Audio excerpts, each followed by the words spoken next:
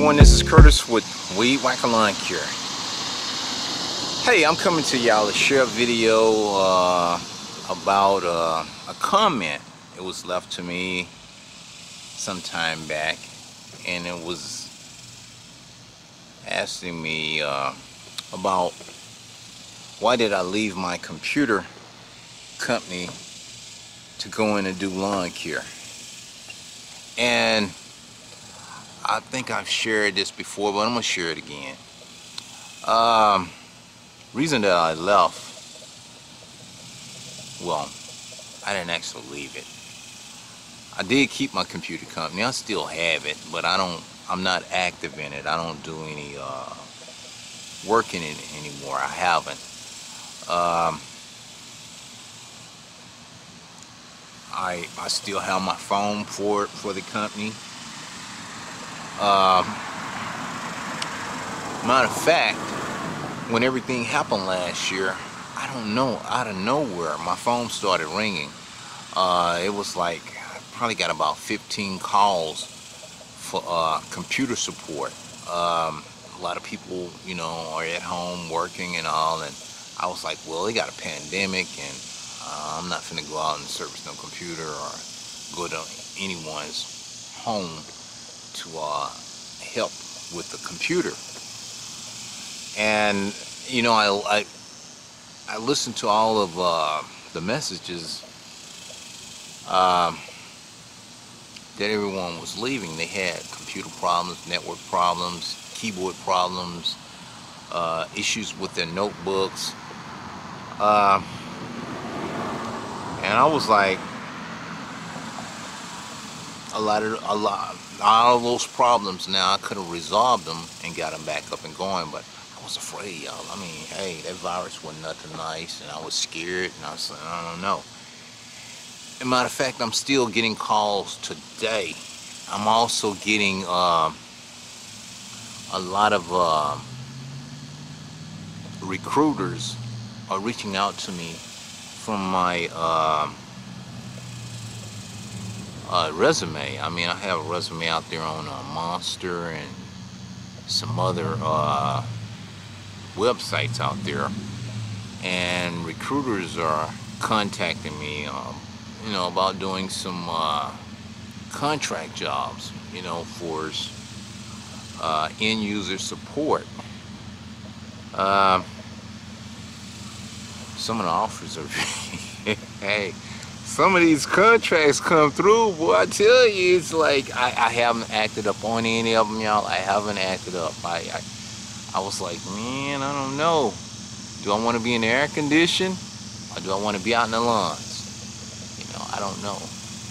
But it was years ago when things would get slow and it was around by September, October, lawn care season was over, I would uh, put my resume out and uh, it would get me through until the next season. Well, what happened one year, I, I put my resume out and I went on this job and um, let me tell you about what happened. Went on a job and they they needed to do a, a,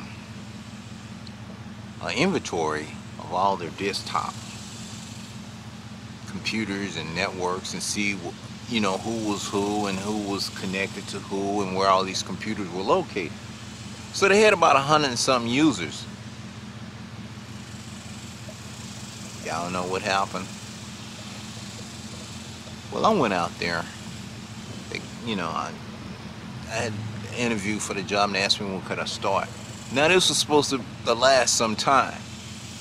Okay, I worked that day.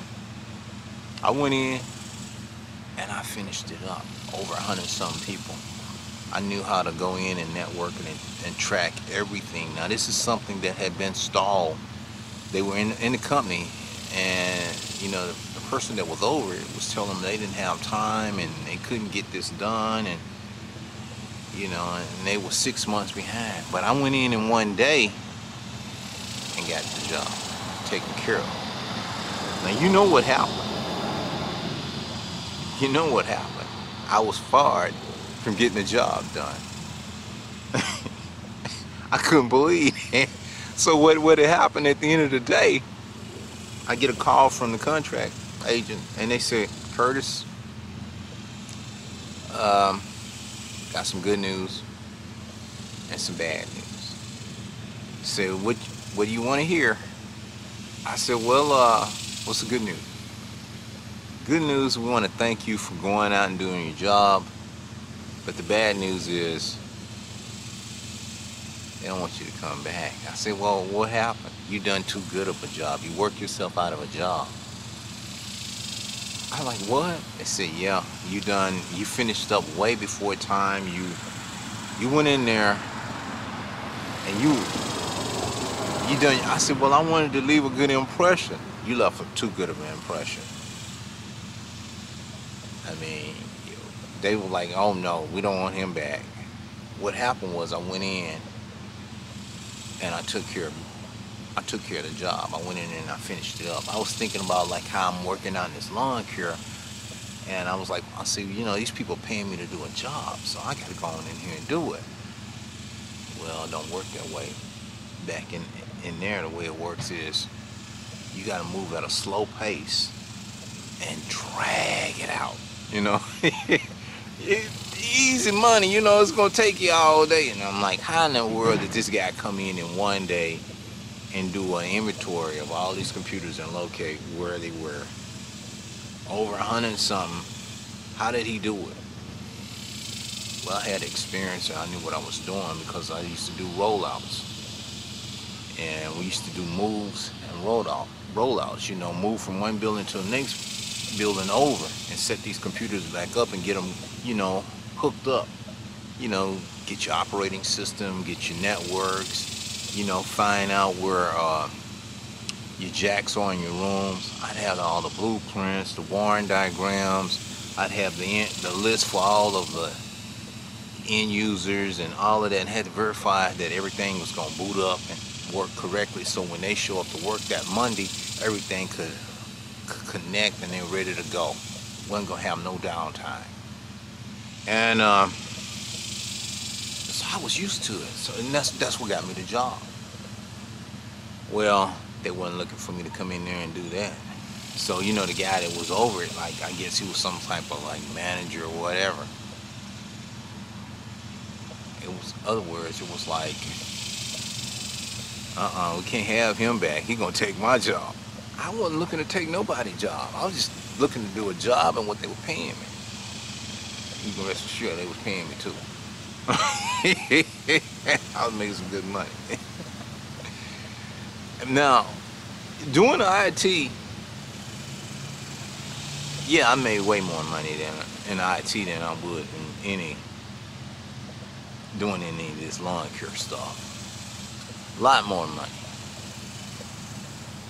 But back to what the, the comment was, why did I shut down my computer company? Well, what happened, I had a, uh, I enjoyed the computers, I mean love it. But I had some sick, sick family members, parents sick, my kids' mother their mother was sick and and I was doing a lot of stuff for everybody. You know, I'm, I'm here. When somebody down and out, I'm there. I was spending a lot of time going to the hospitals, just, man. So, I put everything, I put my stuff on hold. Because I, uh, I just didn't have time anymore, you know, trying to manage my computer company and see about everybody else, you know, they sick, you know, I'm like, man. And, um, and that's how I ended up getting into this lawn care because of my dad. He had some customers and I, back in the 90s, I would go with him and help him, you know, but in the 90s, he got sick and so I just kept it going and so then you know I was uh, working uh, I was I kept it going I was doing it on the side while I was running my computer business and what I would do early in the morning, I would get up about 6 and start mowing yards, and I'd mow them till about 10. And I'd come home, take a hot shower, change clothes, and put my uniform on, and uh, go and open up shop. And I'd be there the rest of the day. And I would repeat this over and over every day. Um, go mow lawns early in the morning. And I done it for some years. And then I tried to uh, you know, slow it down. And I was like, man, I don't want to, uh, I didn't really want to quit my computer business to do the lawn care. But what happened one day, I ended up uh, doing some work uh, at my shop. And I drove my truck and I had the mowers and stuff on it. And uh, customers come in and they say, hey, you do lawn care? I was like, well, yeah. So then they started, hey, how's going? They started uh, asking me about my lawn care business. And I was like, I didn't want, you know, I didn't want the customers to know about that. I mean, I had over like, a thousand customers in my database, you know, come and go, but I didn't want nobody to know about that. But this so happened I got caught up where I had to uh, take my, uh, well, I had to, I got caught where I was out working and I had to go into the shop and I drove the truck and it was leading to something else and I was like, oh man, this is spread. I'm like, oh, no, no. So I didn't want nobody, they didn't, a lot of my customers didn't know I had a, I was doing a lawn service. And I went on and they won't, well, that lawn, my computer business and the lawn service together, they, it was like picking up there too. I was like, oh man, I'm not trying to, it's gonna be a conflict. I can't do both of these. But uh, eventually, like I said, you know, every, everything was just going downhill because uh, I had a lot of family members that were sick. And I, said, I gotta slow it down. And um, that's what I did. I slowed it down and then I I accepted a job. I went on a contract job out in Nassau, IT manager, knowing, you know, managing um, a logistics, you know, with the trucking and the shipping and receiving, and was making good money, you know. Offered me a job to come out there. I'm like, okay. So I went on, and then when that played out, you know, that's when I took the lawn care and that was in 2011. That's when I went on and took the lawn care full time. Um, yeah, I took the lawn care full time. And I just, this old Ford truck that I'm sitting on, that's all I was driving was this Ford truck. I put a lawnmower here in the back. And I had a blower and all of that. And I would go and mow some lawns. And that was, you know, that was it. Then I took and uh, I used some of my uh, stuff that I used in my computer business, some of my marketing tools. I was, I was curious. I wanted Willis to really work in lawn care. And uh, the stuff that I had used in the computer business, I used it in the lawn care business. It, it worked. It worked. I done. I used all the same marketing tools that I was using for my computer business. I used it for my lawn care business, and uh, thing took off. Then I had to get a trailer, I had to get a bigger mower, and you know, I, that that just blew up for me. I was like, wow. Meanwhile, I ain't had to buy a new truck. That's when I bought this 2012 Ford F-150 that's over here. I bought that brand new. Cause, well, I had a truck, a Chevrolet Silverado. And on that one, I think I showed them. I shared it in a video. But that truck, I had about 260,000 miles on it. And it had, you know, started to give me some problems. And it was getting into my pocket for his, uh, doing the maintenance on it and all. And I was like, wait a minute. Wait a minute. I'm putting a little bit too much money in it. It's always something, you know. Something would break. I always felt like, hey, I could do the repairs on it. was cheaper than a note at some point it was cheaper. It saved me some money. I figured that, hey, if it cost me I don't know, a thousand or fifteen or two thousand dollars a year just on maintenance, whatever need will keep me running, and plus I'm making money. Well, it, well, it added up, and uh, it was like it's getting beyond 2,000 a year. We we talking about getting over into 4,000 a year. I'm like, no, it's time to get a new one, and I'm glad I bought a new one because uh, I don't have no uh, no problems, you know, with that new one. I mean, take it into the shop, let them check it out and everything, and keep rolling. But I'm glad. I would always say get a new truck if you're doing lawn care because can't afford to have no breakdowns and truck down and all.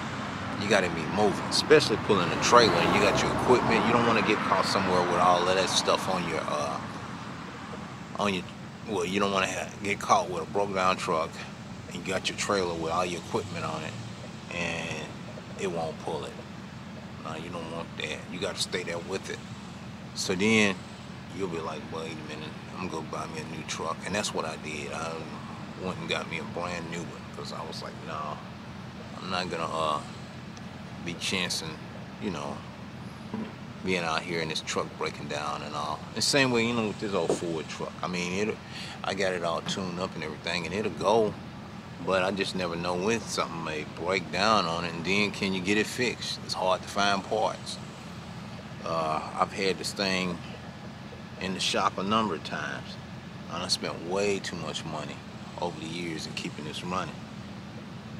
Matter of fact I was at a dealership and they was asking me say it must be sentimental value in this truck. I said yeah it was my dad's old truck because they said you don't spend a lot of money. I said how much I spending put into this thing put in like way over about $18,000. I could have bought another truck, but it was my dad's old truck.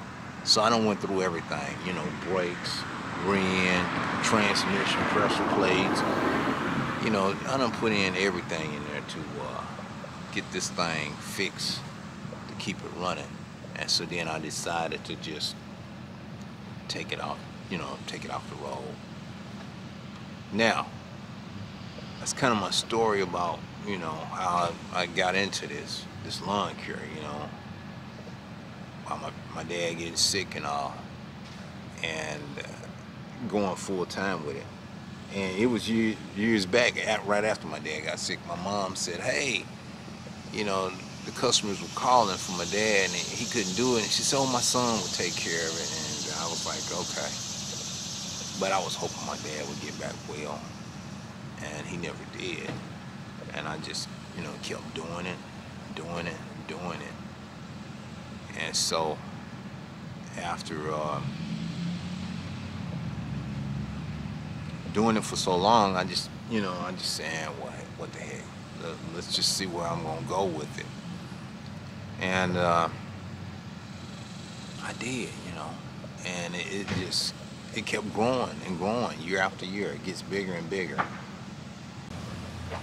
Okay guys, my battery had died. I don't know this heat out here. I tell you, took my camera out, but I'm back now. I'm back. And as I was saying, uh, I, uh, you know, I just kept doing the lawn service, kept doing it. And my computer business, you know, I, like I said, like I was telling y'all earlier, I haven't been active in it. I still have all kinds of computer equipment and stuff that you know, I, I could use for his uh, opening up another shop, another computer shop. I don't know. I may get back into it. I don't know. I, I may. Now, I wanna I wanna address one thing. Every business you get into, you going you end up having some problems. Now I had problems in in the uh, in the computer business. You know, you get all kinds of uh, I mean, same thing. People out wanting something for nothing, uh, trying to scam you, always trying to sell you something that you don't need. Uh, get a bunch of hot checks, checks that's so hot, you know. You I don't even know why they they're you know trying to write a check. They know they don't have no money. Um, I don't. Matter of fact, I had a guy wrote me a $30 check and business was slow. And so I turned it over to, uh, they have small claims uh, collection. You go down to the county and you fill out this form and then you fill it out and you send them a, send them a certified letter and everything. Then if they don't address the issue, then they'll go and pick the pick you up. Matter of fact, well, I had one, and they went and picked the guy up and put him in jail. And it was over a $30 modem. Didn't pay for it. I was like, hey, I got to pay the bills around here. All these people writing all these hot checks and not paying me my money. Shoot. So, and, and yeah, you, it's called, yeah, worthless checks down at the county. You get your money. And, you know, just in any business, I mean, you have to be very careful because I tell you, it's stressful because you don't know, you know, when, who you are dealing with, you know, when it comes to business. And I mean, you got to be very careful. You got to be on your uh, P's and Q's at all times because you don't know when you're going to get robbed or what what's going to happen out here. And you got to be on the look at, lookout at all times. You got to be looking at cars. You got to be looking at people, their posture. You got to be looking at what's going on. You got to be studying this stuff. You got to know. You got to have a mindset that, hey, anything can go down. Don't take it lightly that it's all easy because it's not. When I tell you it's hard, it is hard because if you don't believe me, watch the news. You always hear about somebody getting robbed, uh, some business getting robbed, or all kinds of stuff. Watch the news, study, look at all these crime shows that they have, uh, 48 hours, or mysteries. This stuff is real, y'all. It is real. Um, matter of fact, it was when I was little, growing up, had a great aunt, great aunt, which was my dad's aunt, uh, my grandma's sister. She had a grocery store.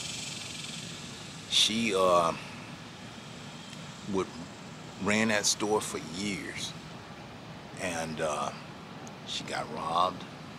She got shot up a number of times. Uh, what happened?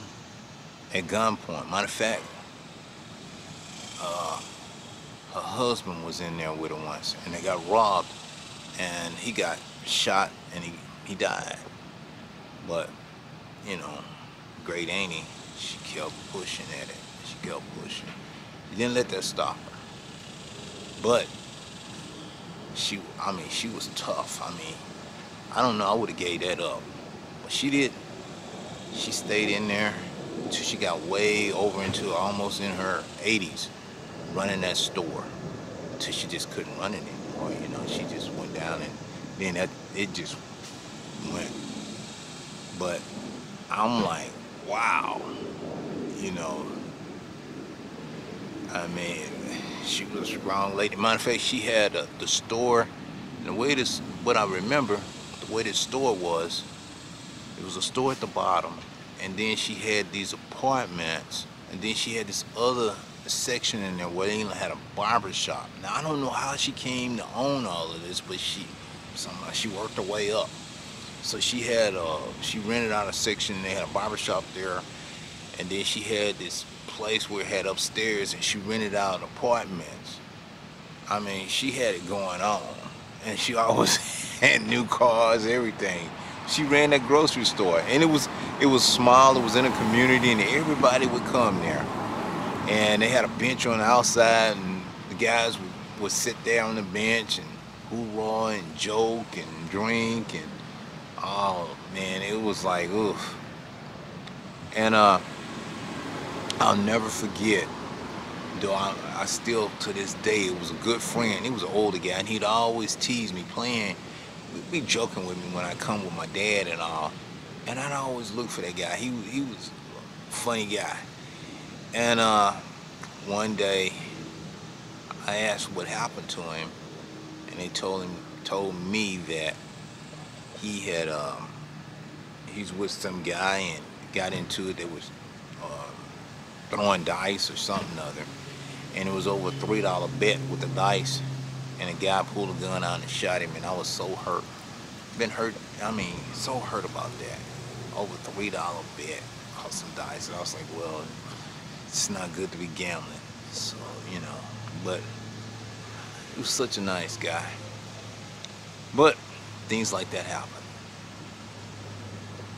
But anyway, y'all, I'm just I've been telling you my stories of you know about my computer business and what went on in my life and stuff, events and all, and you know where my computer company's at and why I, uh, you know, basically had, had shut it down, you know, because you know looking after loved ones. You know, my parents were sick, my, my dad was sick, my mom was sick, my kids' uh, mother was sick. I mean, she had issues, and I was back and forth seeing about her, going to the hospital, and you know, she's going through this chemo and radiation, and oh man, it was, ugh, it, it got to be a, a bit much for me. And, uh, know, I said, boy, look at here. And then my dad, you know, he was sick. And mom, she was sick. Then my uncle, he he got sick. And, you know, all these people that counted on me to come and help them and everything, I was there for them. And, uh, you know, they all passed now, but I'm glad that I was able to be there to help them at their time in need. You know, I, I, was thankful that I could do it, and I did. So I, I, I got them all uh, taken care of while I could take care of them and help them and be there. But I spent many nights in hospitals, sleeping in chairs and stuff. Man, it was rough. But anyway, y'all, that's my story about why I uh, pretty much closed the computer company down for a while. Closed it, yep. Anyway, I hope you've enjoyed my story of me telling you what happened in my computer business and why I quit doing it. So uh, for now, I'm finna go, y'all. Hope you've enjoyed this video, but uh, I gotta go. So y'all take care, and uh, I'll be back soon with another video. All right, bye for now.